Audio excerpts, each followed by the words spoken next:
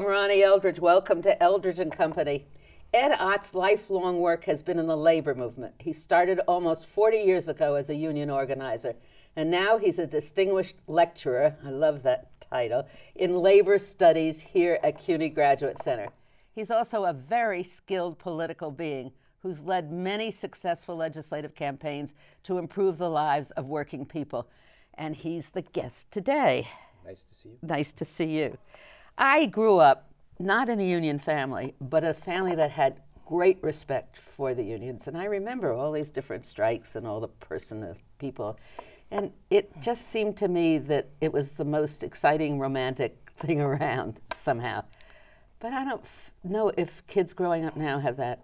I don't think they have that same feeling. Well, you know, it's funny because uh, conversations at dinner tables can shape your lives. And I grew up in a working class family. My mother was a retail clerk and then later on became a hospital uh, administrative employee for the city.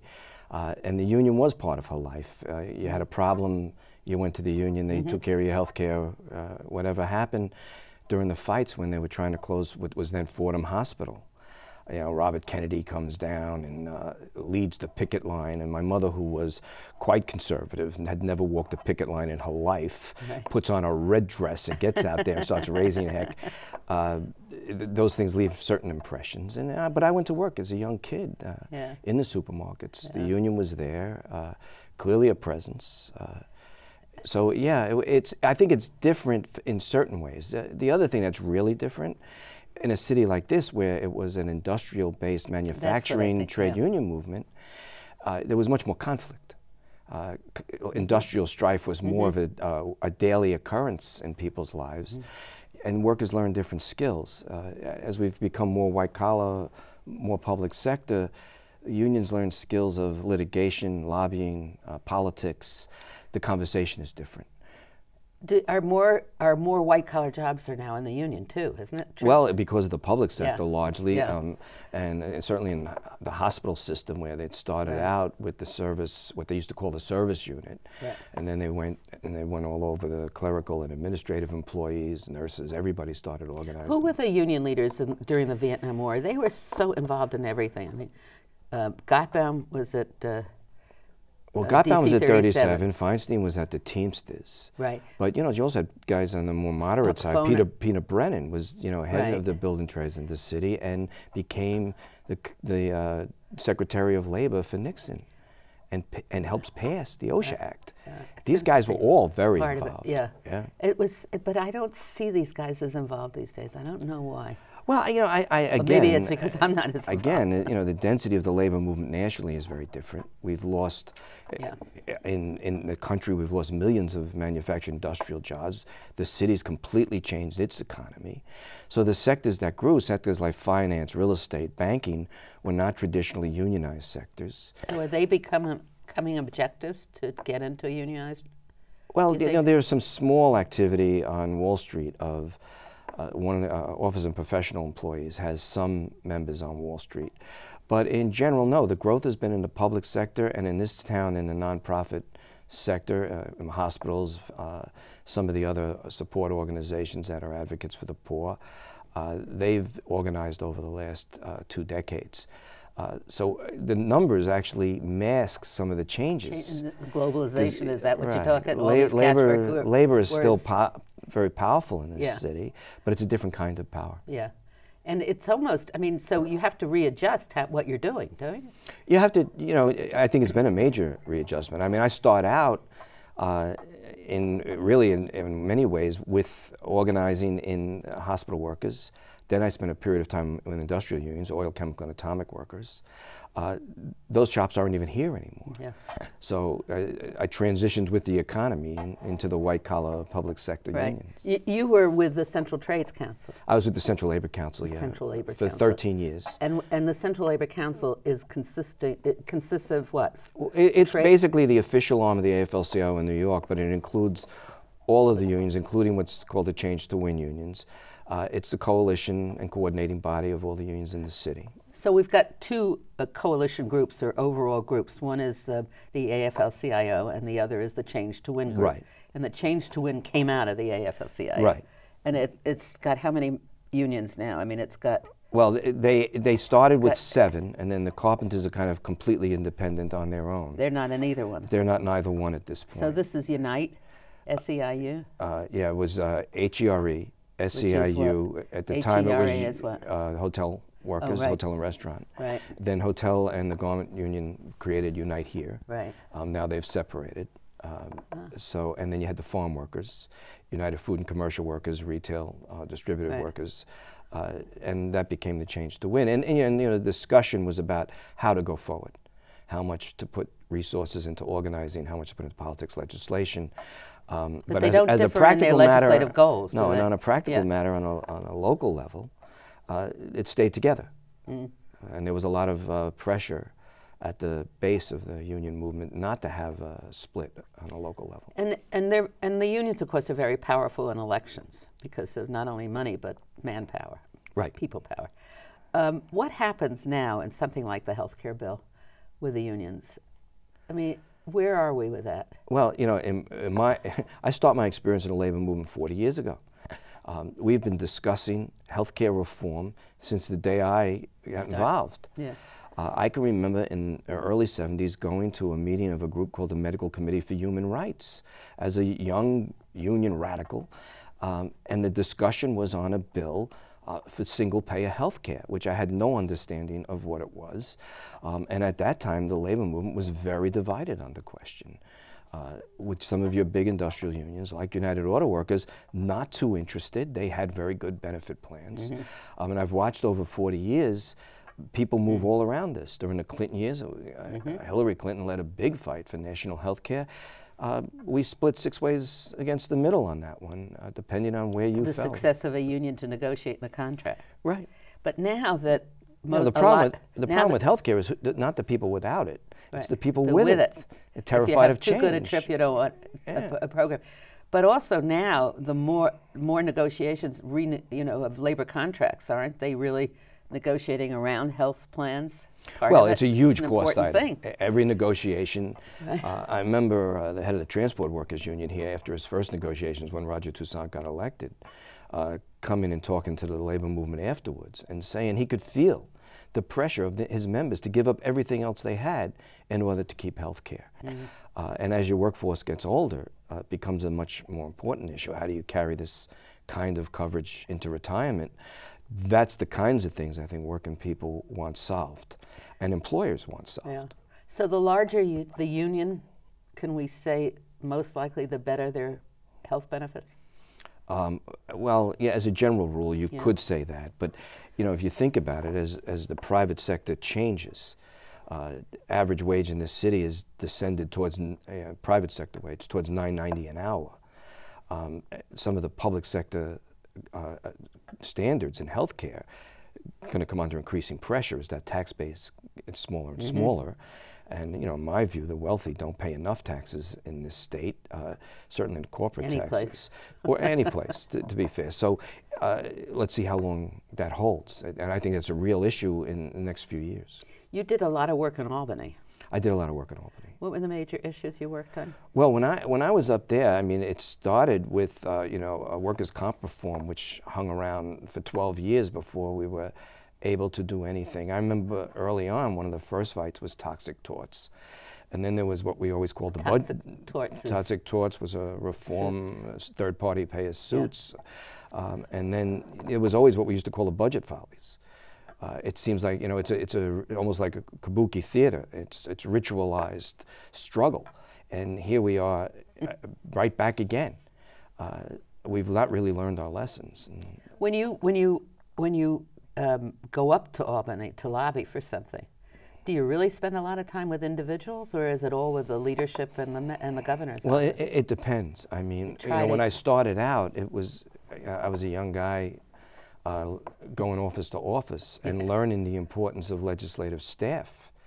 Uh, you, If you didn't know who you were, you couldn't always get in to see the, the elected official.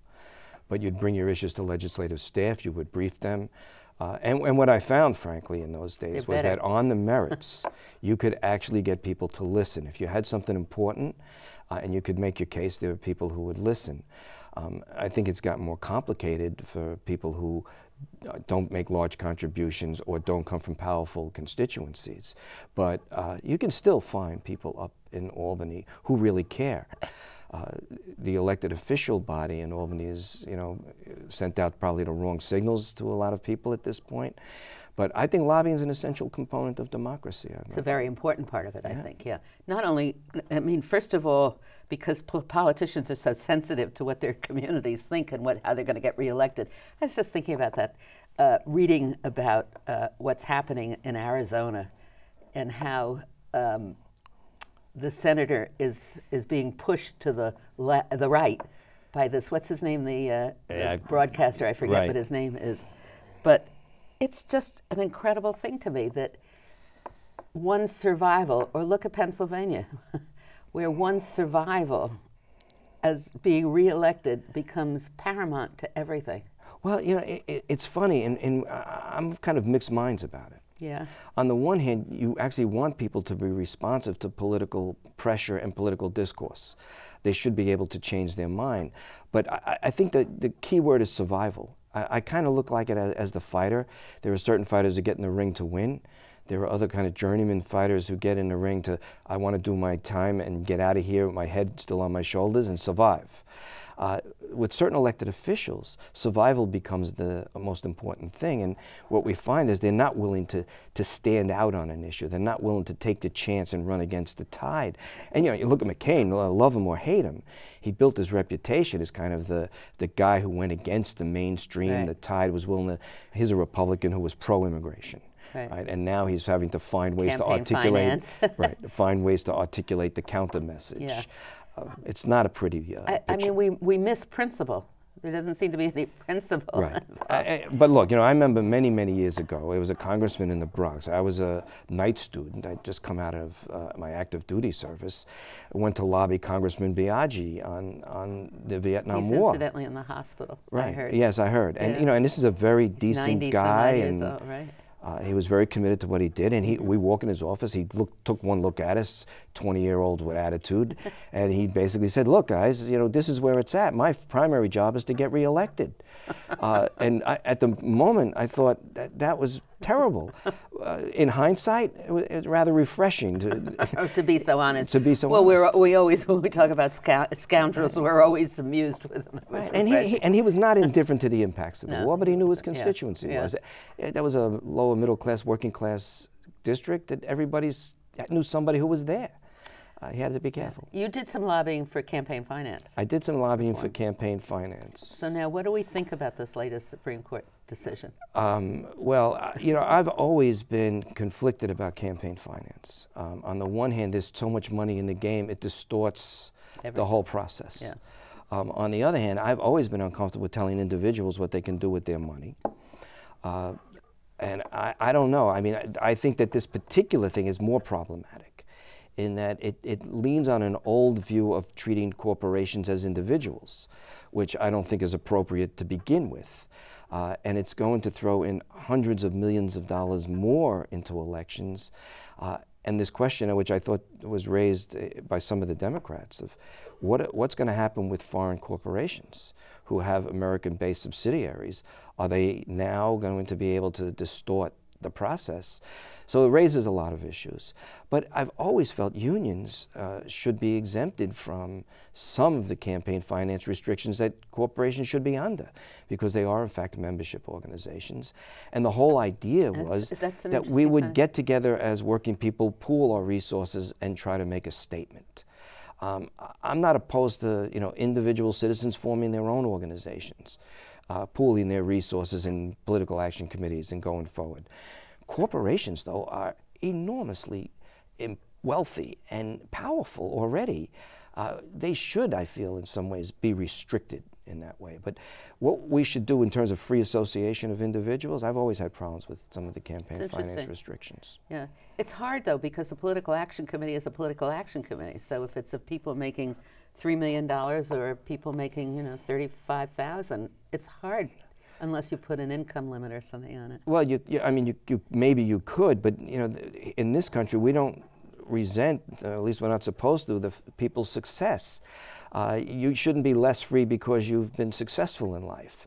Uh, so we had, you know, it's not easy here to come to terms But with we that. believe Meantime, in, in taxing the people who are more successful. well, we used to. we we used to. hopefully will eventually. I was looking at, it, you know, in the Eisenhower administration, the wealthy after a certain number were taxed 90 cents on a dollar, and the country was doing fine.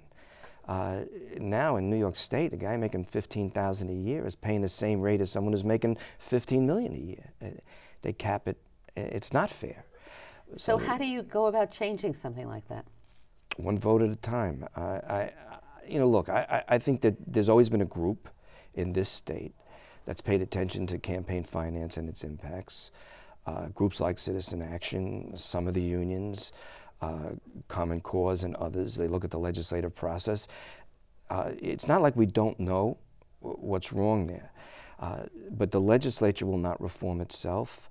Uh, we're always nervous on the labor side about constitutional conventions because one, they're constructed on the same body politic that we're trying to reform, and there are certain protections for the poor and for pensions in the Constitution that no one wants changed. But I don't think we get change unless we rewrite the state constitution. I, but what about what I was talking about basically were taxes. Well- How many members of the legislature do you think really understand it? Well, I think that uh, many people understand it, but we've lost kind of the ideological discussion in this country on taxes. Uh, you, you say to your average person, I'm not talking about your wealthy person, uh, we're going to increase taxes on the wealthy. They hear it as you're going to increase taxes on me. Uh, and they're very distrustful. And in that sense, the more conservative elements in the country have been very successful in having a no tax, no tax, no tax kind of uh, mentality uh, take hold. Uh, I think people are willing to pay taxes when you were in a council and we wanted to do a surtax to deal with public safety. People understood it, they supported it. Uh, it was also guaranteed to be for a finite period of time. We more or less kept that commitment. Uh, if people understand what the taxes are for uh, and we can justify it, I think we can make the case. What they don't like uh, is increasing the, uh, clearly the tax rates on income, the marginal rates. Uh, but to add a particular tax, people seem to be more I'm, I was talking about readjusting the, the, the taxes on income. I think it's going to have to. more. I think we're going to have to run on it. Who does that? well- Who starts that? I think it's going to have to be a candidate for governor, uh, running Right. statewide, um, who says that it is ungovernable the way it is, and we have commitments we have to keep, uh, and they're going to have to try to win an election on that basis. Until somebody does that, uh, most of the legislative body is going to say we can't do it. There's no mandate to do it. So we should go after the candidates for governor. We absolutely, it should be made an issue in every gubernatorial forum. How are you going to financially manage this state? And we need to shift the discussion from higher taxes to financial management. And what are you going to do to preserve the things that we really care about? How, how do we get people to vote? I mean, I, that I think is the worst thing. Is you look at the New York City Council, the average vote in a council district is very low. Average vote is very low. How do we? How, I mean, they must be low in assembly districts and state senate districts, or we wouldn't have some of the people well, we have. well, one of the arguments for term limits was, in fact, I that it would that. increase voter participation because uh, incumbent politicians of any party, if you really think about it, they get elected by a constituency. They don't really want to alter it. Yeah. So they're not looking to add new voters and they're not looking to change the mix. Right. So uh, if you have competitive districts, you get a better turnout. In that sense, uh, term limits was somewhat helpful, uh, and maybe we have to take another look at it. Uh, certainly in Albany, uh, if we can't get a constitutional convention that's going to make some basic changes, uh, I know Common Cause is looking for allies now on some kind of term limits fight. It's interesting because the term limits got such a bad name in New York when the mayor decided to just override the whole thing. I was not a big term limits fan on legislative bodies and, and never have been, but something has to be done. I, w- I actually voted for term limits right. because uh, I just thought they'll never get rid of the people in this council. They were there for ever, forever. Yeah, it was. It, it seemed like a job for life. Yeah. Which it shouldn't And- be. yeah. Although you know, in an odd But way. I don't think the system we have now is a very right. good one. Right. I, I, I don't Yeah. think so either. And I was confused by you know, the, we were approached when I, I was in my last uh, position at, at the Labor Council. I was approached about the question of term limits. And I said, if it goes back to the voters, I, will continue to oppose term limits, but it has to go back to the voters. I, I didn't think it was appropriate to do it No, it was legislatively. terrible, wasn't it? Well, the voters were very clear twice Yes. about what they wanted. Uh, And they were very clear, I think, in the election also. yeah. Yeah, Yeah, very was clear. not a forgivable thing. No, it wasn't, and it's, there's probably some lingering effects Yeah. to it. You know, but we also, you know, we came a year after a presidential election, where there was great hope, um, uh, huge turnouts, uh, and the next year, that next election, the the whole atmosphere in this city and elsewhere was very, very different.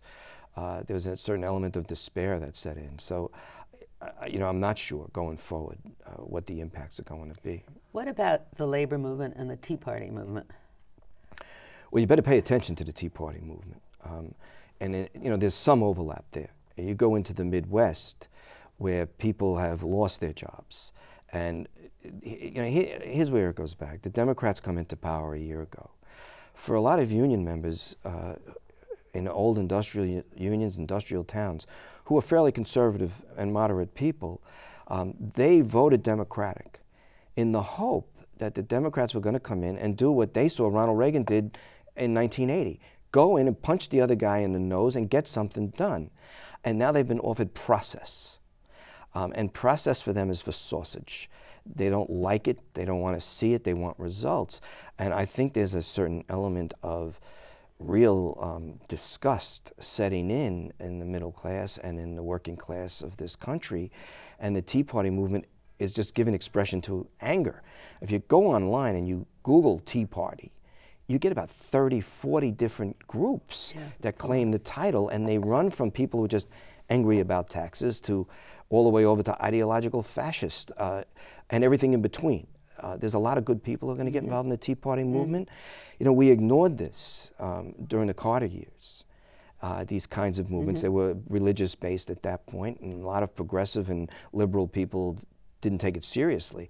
Y- you ignore these movements at your own peril. I it was very interesting at their convention because they were using Saul Alinsky type organizing tactics. They were teaching their people there how to go and organize. Well, you know, it goes to show you, you know, values Yeah. count. Yeah. Uh, it's not a question of organization and technique. It's a question of ideology and Yeah, politics. right. And they will use our tactics. And yeah, and get it. Uh, what's the difference between the middle class and working people? Well, eh, I, w- I would describe it this way. I, I usually use the term working middle class. Uh, over a period of 100 years, largely with organized labor and with public policy, uh, workers attained a certain standard that they could own a home, uh, have health care, certain benefits that accumulate to a pension and, Car. and Social Security. This is what the New Yeah. Deal did for Right. people. Uh, and they s- defined themselves as middle class. My mother was a eight hours a day on her feet supermarket checker. If you called her working class, she looked at you uh, Right. askance. Like, what are you kidding? I'm a middle class person. Uh, I think that's true for a lot of working people, but there's also that strata now of professionals, everything from doctors, nurses, teachers, who see themselves as solidly middle class. Doctors used to consider themselves among the wealthy. Right. You come out of college $400,000 in debt, uh, it changes your view of where you are. Um, so it's a range, uh, but it's almost to me uh, the working middle class is most working people in this country uh, At any job. at any job. That's I agree with you, but I don't think that that's so commonly held as an interpretation. well, the code word for working class in a town like New York is you're an immigrant. Uh, You know, Oh, that's interesting. You know, Yeah. you're, you're not there yet. Um, uh, and then I think depending on uh, what assimilation forms take, uh, different groups see themselves as middle class. Certainly, some of the Asian and South Asian migration that's come here even in the last 10 years do not see themselves as working class. Right. Uh, you know, it's interesting, uh, even in the taxi industry, taxi workers see themselves as financially independent. And some of the fights they've had with the city are over control of the routes. We don't want to be followed by GPS. It's competitive. Uh, that industry is 75, 80% Muslim. They believe in economic self sufficiency, it's part of their culture. Uh, that job appeals to them on a whole different level than just a paycheck. Uh, They own the cabs, so that's the goal. exactly right. It's Yeah. a business. Right. um, and it, it fits their whole belief system. So we have to learn to respect that. There are subtleties in this. Uh, but look, the working class in this city runs the service industry. They also perform the work that allow middle class people to work. You know, after the women's movement begins to drive new uh, discussion in this country, we basically have set up an economy that you, you need two incomes to live almost if you're raising a family. It created a whole new pressure. Domestic workers no longer work for super wealthy people. They, they're the people that do the things that allow middle class people, people to have jobs. work. So they're a key part of the economic structure. And as the population ages, they're also the people who take care of the elderly. older people. Exactly right. Yeah. And in that sense, they're fully integrated into the economy, an essential component of it, and yet they have no protection in labor law. They're the people that work in isolation. They're not covered by any wage laws, any protections, any health and safety protections. So, you know, that's why the domestic workers are up in Albany now so trying to make their case. domestic workers, and then we have the taxi cab. Taxi the cab the considered alliance, contracts. the uh, Taxi Workers Alliance. And who else is trying to organize people like that? Well, um, there, there's a Restaurant Opportunity Center in New York, which is Right. doing a lot of work, largely with immigrants, not exclusively, who work in the backsides of the restaurant industry, in the kitchens, training people for the front and trying to advance them. And then there's unions, like everything from the hotel unions to the, what's left of the garment workers unions here, who deal largely with uh, immigrants of all stripes from all over the world, uh, trying to advance them. So we've come to the end of this discussion. Oh, that was quick. You said before you should be the, um, what was it, the distinguished a distinguished practitioner, practitioner. as opposed to a distinguished right. lecturer. Well, yeah. but you do, when you lecture, you do. I do teach. lecture. I, I, do teach, and um, I'm not afraid to lecture, but uh, And you'll be committed to labor and to the working people for the rest of your. absolutely, Yeah. and that's why I'm so happy to be at City University. Uh, it is the Great. working class university, and we've got a long history. But it's also middle class. It's very middle class. it is the ticket to the middle class. Yeah. Thanks, Ed. Thanks for being here.